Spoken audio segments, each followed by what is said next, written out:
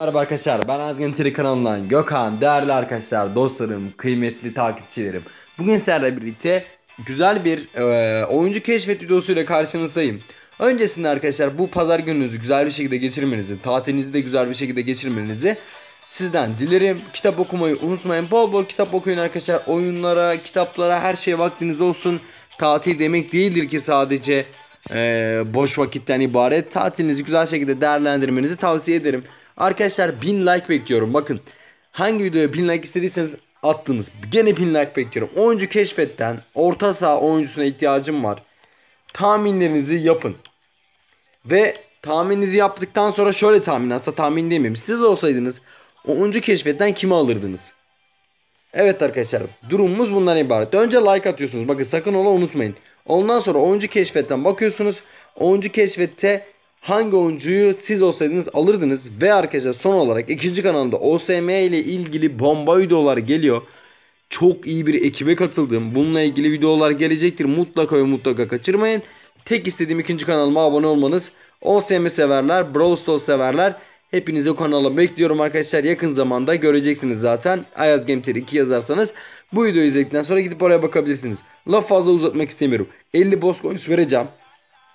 Bozkon istedim. 50 altın vereceğim. 50 altına bakalım orta sahadan hangi oyuncular geldi?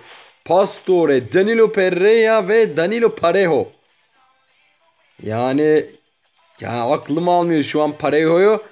Alasım da geliyor açıkçası ama emin değilim. Şöyle sesi kısalım. Şimdi bir tane daha oyuncu keşfet yapalım arkadaşlar. Bunu da 100 verelim gene orta sahadan. 150 veriyormuşuz. Çok para ama yapacak bir şey yok evet. Tamam bunlardan başka oyuncu almayacağız. Şimdi arkadaşlar oyuncu keşfetten çıkan oyuncular kim? Hep birlikte bakalım. Şöyle girdik tekrardan. Evet. Orta sahadan geldik. Tiov'un geldi. Pastore geldi. Danilo Pere, Parejo geldi. Danilo Pereira, Insigne ve Nabil Fekir. Şimdi benim aslında ofansif değil de bir tane CM'ye ihtiyacım var. Burada Danilo Pereira bize göz kırpan oyuncu. Fakat Danilo Pereira'nın hızını çok beğenmedim. Gücü çok iyi. Dayanıklılığı falan fena değil. Ama emin de değilim. Lorenzo Insigne boyu çok kısa. 1.63. Şimdi siz olsaydınız kimi aldınız? Açıkçası Insigne'yi orta saha oynatmak çok yanlış olacak. Ee, Fekir o da ofansif. Forvet arkası. Gene aynı şekilde Tiavun forvet arkası. Pastore forvet arkası. Parejo forvet arkası. Yani inanın hiçbir fikrim yok. Kimi alacağım hakkında hiçbir fikrim yok. Danilo Pereira'yı alsam CM'de kuvvetli bir oyuncu mu olur? E, Insigne hızlı bir oyuncu ve en kısa oyuncu oyundaki.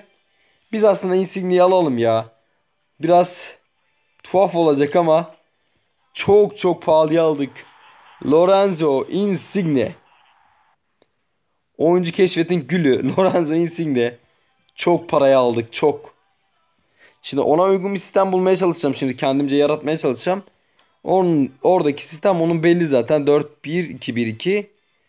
Bu sistem biraz sıkıntılı bir sistem açıkçası. Insignia'yı orada oynatacağım için mecburen orada oynatacağım. Yani mecburen onu oraya almak zorundayım. Ee, oynasın. Sen burada oyna. Şöyle DM pozisyonuna Clark'in yerine Makug oynasın. Bir oyuncuya ihtiyacım var. O da CM'den şu oynarsa bence fena değil. Kadromuz şu an yerli yerine oturdu. Vinicius Junior ile Enkudu ileri hatta Insigne onların arkasında Power, Makuk ve Sar üçlüsü e, Figuer, Figueredo konuşamıyorum bile. Matip, Pique, Yedlin ve Lopez. Bu kadro bu maçta ne yapar? Arkadaşlar bin like istedim. Siz olsaydınız kimi alırdınız? Lorenzo Insigne hızlı olduğu için gene tercihim hızlı oyunculardan yana oldu.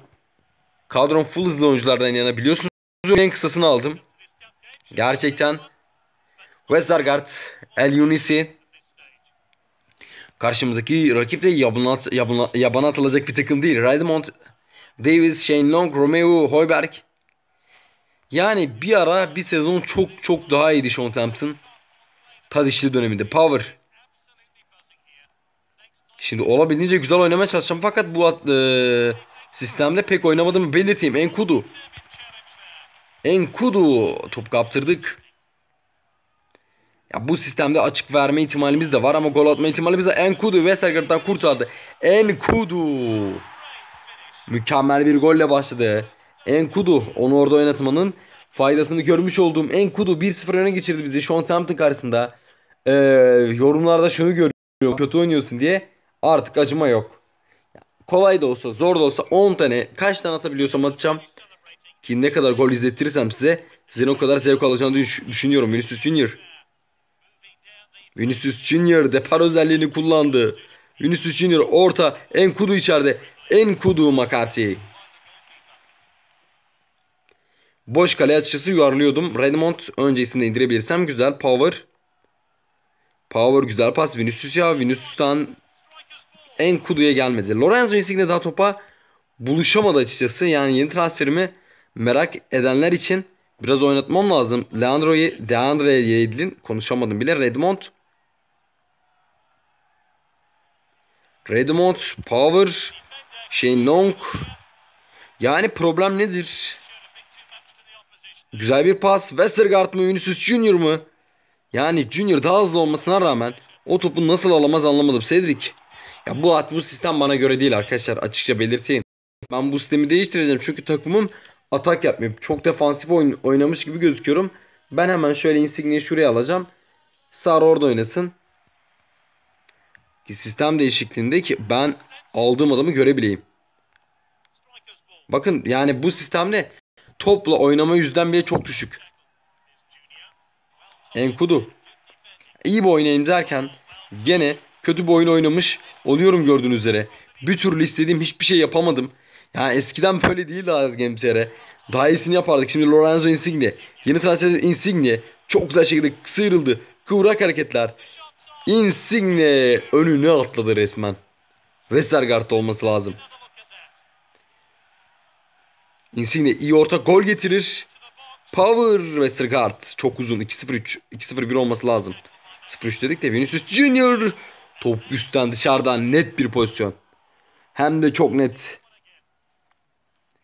Yani bunun gol olması lazımdı Vinicius Junior. Top direkten dışarı bulunmuş oldu.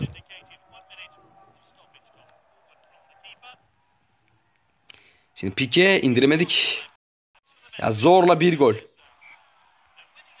Davis. Redmond. Power. İşte oyunun en kısası en uzun oyunculardan biriyle karşı karşıya Insigne. Insigne. Insigne Show. Oyunun en kısası en uzun oyuncularından Westergaard'ı resmen çarşı pazar yaptı. Sonrasında kaleciyle baş başa skor 2-0'a geldi. İşte Lorenzo Insigne Westergaard'ın üzerine üzerine gitti. Skoru da 2-0'a getirmeyi başardık. Artık bundan sonra goller çok güzel şekilde gelecektir. El Yunusi. Sar gelmedi gene. Deandre Yedlin çok net bir pas. Vinicius Junior. Ah Enkudu. Sar. Ondan güzel pas Enkudu ya. Enkudu. Makuka Makuk. Net paslaşmalar. Enkudu. Insigne kafayı vuramadı bir türlü. Dönen pozisyon. Karambolde gol gene çıkmadı. Kısacık boyla zorlamaya devam ediyor. Long'dan önce kafayı vursak bir avantaj elde edecektim derken Pique mi? Shane Long Pique ve serbest vuruş penaltı bile olabilirdi. Yayın tam dışında. Net pozisyon. Bir frikik top yandan dışarıda. Hoiberg mi? Romeo. Tehlikeye geldiler az önce. Power Lorenzo Insigne'ye bıraktı. Lorenzo Insigne. Gene hızını alamadı. Insigne Hoiberg.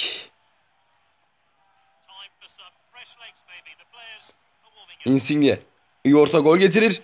Bomboş. Top yandan dışarıda Vinicius Junior. Aslında iyi bir deneme olabilirdi. McCarthy. Yani oyuncumuzu daha iyi deneyebilirdik ya. Neden böyle yaptık ki?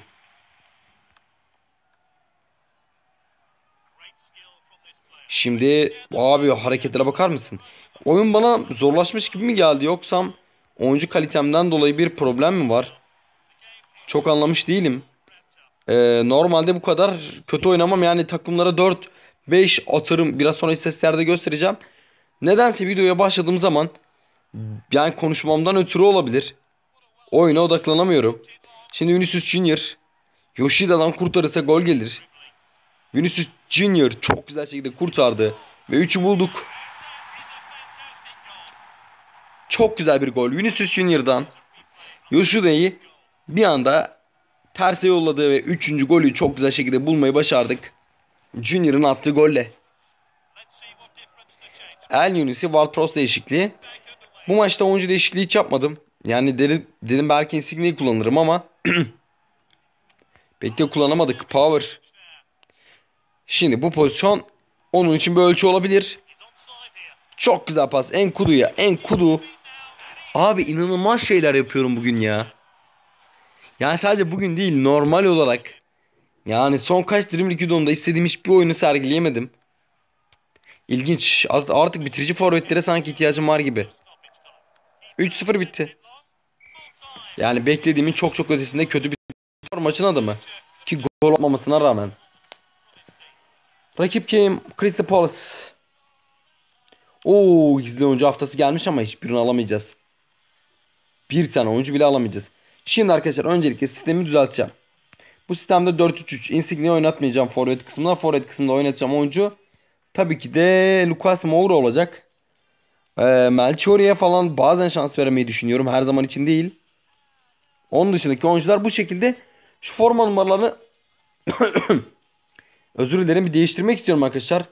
Ee, oyuncular düzenle kısmında mesela ben de tamam Lucas 27, Insigne 24. Tamam burada benim hmm, Leroy Sar'ı merak ettim. Yani Leroy Sar, İsmail Sar. Tamam Enkudu. Bakın arkadaşlar Enkudu 96 olsun. Neşimit güzel. Melchiori güzel. Frizel orta saha oyuncusu için bence yetersiz bir numara. Mut güzel. Henrik güzel. Murray de güzel. Bence 11 numara kanat için gayet iyi. Matip iyi. Şimdi rastgele değil. Ayakkabıları da istediğimiz renk yapalım. Yeşil oynasın. Insigne mavi İtalyan olduğu için. Gerçi İtalyanların deniz mavileri aynen. Sarı, pembe, mavi tamam. Şunu şöyle yaptık mı tamamdır.